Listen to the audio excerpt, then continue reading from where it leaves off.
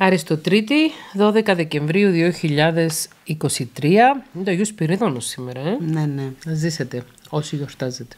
Χρόνια πολλά. Λοιπόν, ε, θα μιλήσουμε σήμερα για τους ανθρώπους ε, που αρνούνται να αγαπηθούν. Ω, Ε, τους ανθρώπους που όταν κάποιος τους εκδηλώσει την αγάπη του βγάζουν επιθετικότητα.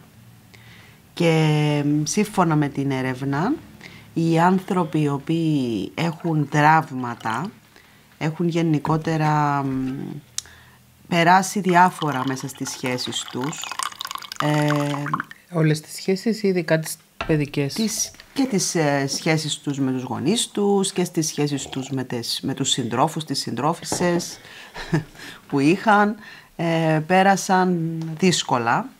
Οπότε σαν από άμυνα ε, οχυρώθηκαν με έναν τέτοιο τρόπο ούτως ώστε όταν κάποιος τους εκδηλώνει την αγάπη τους, του, να μην, ε, να μην ανταποκρίνονται για να μην πληγωθούν. Άρα με λίγα λόγια η αγάπη τρομάζει το τραύμα. Και έτσι το τραύμα Η αγάπη τρομάζει το τραύμα. και, η αγάπη, και το τραύμα ε, βγαίνει στο προσκήνιο οπότε ε, οι άμυνες παγιώνονται για να μπορέσει ο άνθρωπος να α, αντισταθεί στην εκδήλωση αγάπης και δείχνουν μια επιθετικότητα όπου ο άλλος άνθρωπος που είναι συνηθισμένος να δίνει την αγάπη του ε, γιατί εκεί έξω ναι μεν υπάρχουν πάρα πολλοί άνθρωποι οι οποίοι χρήζουν ψυχολογικής και ψυχιατρικής υποστήριξης Ψυχιατρικής. ε, λοιπόν, όλοι χρήζουμε ψυχολογικής, αλλά υπάρχουν και κάποιοι άνθρωποι που χρήζουν και ψυχιατρικής και κυκλοφορούν ανέμελοι. Ε, αλλά υπάρχουν και κάποιοι άνθρωποι Κυκλοφορούν που... ανέμπελοι, λέει. Ε, υ- υπάρχουν και κάποιοι άνθρωποι οι οποίοι έχουν φροντίσει τα τραύματά τους, τα έχουν πάρει σε ειδικούς της επιλογής τους, έχουν κάνει την ψυχοθεραπεία τους, έχουν κάνει τον αγώνα τους, έχουν, τα έχουν βάλει με όλο αυτόν τον δράκο των παιδικών τους χρόνων για να τον εξημερώσουν και μπορούν να αγαπούν και εκδηλώνουν την αγάπη τους.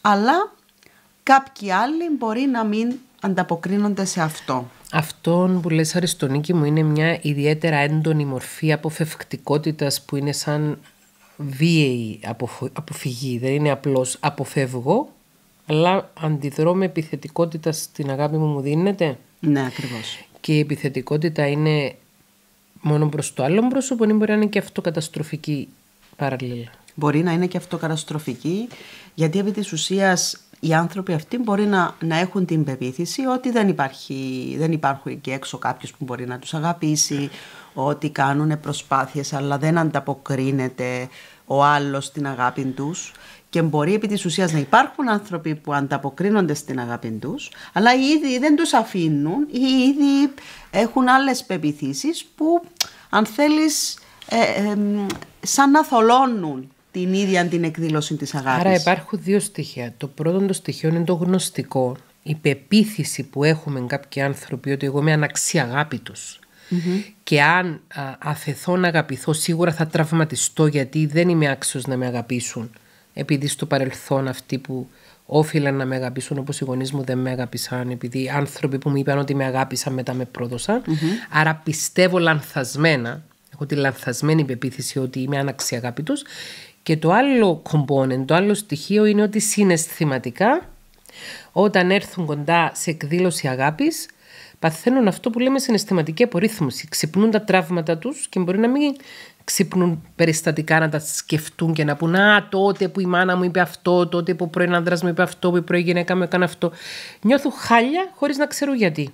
Ακριβώς. ακριβώς. Wow. Θα σου κάνω μια ερώτηση τώρα που είναι το ενός δολαρίου, το ενός εκατομμυρίου δολαρίων. Μπορούμε εμείς ως απλοί άνθρωποι οι οποίοι μπαίνουμε σε μια διαδικασία να προσεγγίσουμε έναν άνθρωπο ή να γνωρίσουμε έναν άνθρωπο. Μπορούμε να αλλάξουμε έναν άνθρωπο; Που έχει άρνηση αγάπης εμείς ως απλοί άνθρωποι μέσα από τη γνωριμία. Πες το. Όχι. Ξαναπες το. Όχι. Ξαναπες το γιατί ε, η συνεξαρτώμενη την έχουμε φάει πολλές φορές.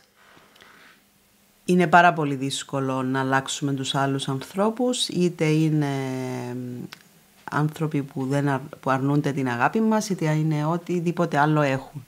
Οι άνθρωποι δεν, α- δεν αλλάζουν από άγγιγμα ενός άλλου ανθρώπου, αλλά επειδή θέλουν οι ίδιοι να αλλάξουν και κάνουν επίπονο και μακροσκελή αγώνα με τον εαυτό τους καθημερινό. Ε, και είναι αυτό που λέμε ότι έχουν το θάρρος να πάρουν τον εαυτό τους στο ψυχοθεραπευτή τους και να παλέψουν μαζί, να είναι συνοδοιπόροι σε αυτόν το ταξίδι και έχουν το θάρρος να περιμένουν, να αναμένουν, να υπομένουν και να αντέχουν όλη αυτή την... α, ό- ό,τι θα φέρει αυτό το ταξίδι γιατί δεν είναι πάντα ευχάριστο. Και δεν είναι η αγάπη που γιατρεύει την άρνηση αγάπης, είναι η ψυχοθεραπεία και η ψυχοσυναισθηματική ορίμανση που προκαλείται μέσα από την ψυχοθεραπεία, μέσα από την ψυχοεκπαίδευση και τον προσωπικό πνευματικό αγώνα. Υπάρχουν κάποιοι άνθρωποι που όση αγάπη και αν τους δείξουμε, δεν θα μπορέσουν να την αποδεχτούν και μπορεί να τη γυρίσουν πίσω σε μίσος. Και θα έλεγε κάποιος ότι και ένας άνθρωπος με εναντιωματικό στυλ προσωπικότητας, ένα αρκισιστικό στυλ προσωπικότητας μπορεί να έχει αυτή την αρνησία. Μπορεί, αγάπης. μπορεί. Ναι. Και- Δεν είναι χαριτωμένο δηλαδή αυτό. Όχι, δεν είναι χαριτωμένο. Υπάρχουν οι άνθρωποι που έχουν τραυματιστεί γιατί είχαν στη ζωή τους είτε γονείς οι οποίοι δεν μπορούσαν ήδη λόγω δικών τους θεμάτων να εκδηλώσουν την αγάπη τους ε, είτε, είτε γιατί ήταν και ήδη θύματα μιας τέτοιους είδους αγάπης ε, Και, δεν έκαναν δουλειά με τον εαυτό Α- τους, γιατί ακριβώς. είμαστε πολλοί που είμαστε θύματα. Και λίγον ή πολύ, αρκετά ή καθόλου, μπορεί να έχουμε δουλέψει με τα εσωτερικά μας ζητήματα και να μην μεταβιβάσαμε διαγενειακά το τραύμα. Ακριβώς. Οπότε η αγάπη είπαμε ότι τρομάζει το τραύμα. Μετά είπα, θα πούμε ότι ο φόβος ε, βγαίνει στο προσκήνιο γιατί φοβάται ο άνθρωπος ότι θα πληγωθεί για άλλη μια φορά. Άρα ε, η αγάπη ε, του προσφέρει δυστυχία γιατί τα, είτε γιατί ήταν χωρίς ανταπόκριση είτε γιατί ε, ήταν, είχε, είχε διφορούμενο πρόσωπο. Δηλαδή μπορεί αυτός που αγάπησε πριν να γίνει το τραύμα ε, να εκδήλωνε την αγάπη του και μετά να μην εκδήλωνε την αγάπη του. Και ε, για- τέλος πάντων η- α, όλο αυτό μπορεί να, μπορεί να προκαλεί κρίση ταυτότητας του πώς είμαι, του ποιος είμαι, του γιατί μου συμβαίνουν όλα αυτά, ότι οι άνθρωποι μπορεί να έχουν αρνητική γνώμη για μένα ε, και γενικότερα υπάρχει και μία άλλη κατηγορία ανθρώπων που θεωρούν ότι το να αγαπηθούν από άλλους ανθρώπους θα προδώσουν την αγάπη τους προς τους γονείς τους. Α, οι μαμάκιδες και οι μπαμπάκιδες. Ναι, ότι έχουν έτσι μια φαντασιωτική σχέση με τους γονείς τους, ακόμα είτε υπάρχουν στη ζωή είτε δεν υπάρχουν. Οπότε το να δώσουν αγάπη σε έναν άλλον πρόσωπο, αυτό μπορεί να ε, επιφέρει μ, πρόβλημα στη σχέση που έχουν είτε τη φαντασιωτική είτε την πραγματική με τους γονείς τους. Και αυτό ξεκινά από μια παιδική ηλικία στην οποία οι γονείς κάνουν συναισθηματική αιμομιξία με τα παιδιά τους και παίρνουν συναισθηματική ικανοποίηση μέσα από τη σχέση με τα παιδιά τους και λένε στα παιδιά εμένα να αγαπάς περισσότερο, τη μαμά να αγαπάς περισσότερο, τον μπαμπά να αγαπάς περισσότερο, μόνο εγώ σε αγαπάω, μόνο εμένα να αγαπάς. Έτσι. Ακριβώς. Και αυτό επιφέρει σίγουρα δυσκολίες. Ε, αυτές οι πυρηνικές πεπιθήσεις που έτσι ο, οι γονείς μπορεί να μ, θρέφουν α, από παιδιόθεν αλλά και συνεχίζουν να τις καλλιεργούν καθ' όλη τη διάρκεια ακόμη και της ενηλικίωσης ε, να επιφέρει δυσκολίες στον ενήλικα πια α, νέων και νέαν η οποία δεν μπορεί να ισορροπήσει μεταξύ της αγάπης που έχει για τους γονείς του, για τους γονείς της και της αγάπης που τους, του προσφέρεται από έναν άλλον πρόσωπο ε, για, να, για να είναι μαζί. Υπάρχουν δηλαδή διάφορες κατηγορίες, δεν είναι μόνο οι άνθρωποι που είναι τραυματισμένοι ή που φοβούνται ή που απορρίφθηκαν. Μπορεί να είναι και άνθρωποι που έρχονται από οικογένειες στις οποίες υπάρχει συναισθηματική αιμομιξία και οι γονείς απαυτώνουν ψυχολογικά τα παιδιά τους και κάνουν τα παιδιά τους να νιώθουν την υποχρέωση να έχουν πρώτα απ' όλα loyalty, να είναι αφιερωμένοι στους γονείς τους και δεν βάζουν τον εαυτό τους και τη γυναίκα τους, τον εαυτό τους και τον άνδρα τους, τον εαυτό τους και τα δικά τους παιδιά πάνω από τους γονείς τους. Ναι. Άρα άρνηση αγάπης έχει και ένας α, κακομαθημένος άνθρωπος, α, μαμάκιας, μπαμπάκιας, ε, άνδρας ή γυναίκα, ο οποίος είναι οι γονείς μου πάνω απ' όλα. Ακριβώς.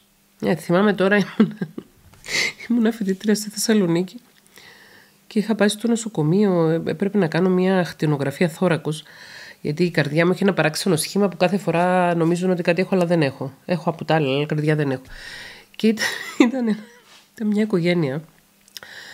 Ήταν ένας άντρας με τη γυναίκα του και τα παιδιά του, γύρω στα 50, ο οποίος ήταν ολοφυρώμενο, γιατί η μάνα του που ήταν 90 χρόνων ήταν άρρωστη. Και η μαμά μου μαξε... και το...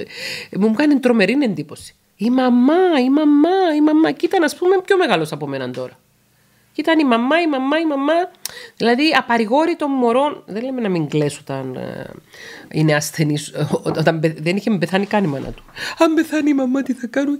Και έτσι μου είχε μείνει αυτός ο κύριος στο μυαλό μου στο poster boy του, της μαμά, του μαμάκια. Εγκρίμα όμως. Και λυπόμουν και τη γυναίκα του και τα παιδιά του όμως. Γιατί σκεφτόμουν αν ήταν ο πατέρας μου έτσι ή αν ήμουν με έναν άνθρωπο που είναι έτσι. Μάλιστα, έχεις κάτι άλλο να μας πεις. Αυτά για την άρνηση αγάπη. Άρνηση αγάπης προβληματικό, προβληματικό στυλ συνδεσιμότητας. Ένας άνθρωπος που έχει άρνηση αγάπης δεν μπορεί να συνδεθεί μαζί μας ουσιαστικά. Δεν είναι δικαιολογία η άρνηση αγάπης για να είμαστε παλιόπαιδα. Σε καμία περίπτωση. Και ούτε μπορούμε με την αγάπη μας να βοηθήσουμε έναν άνθρωπο που έχει άρνηση αγάπης. Όχι. Μας τα είπε Αριστονίκη Αυτά. Γεια σας. Γεια.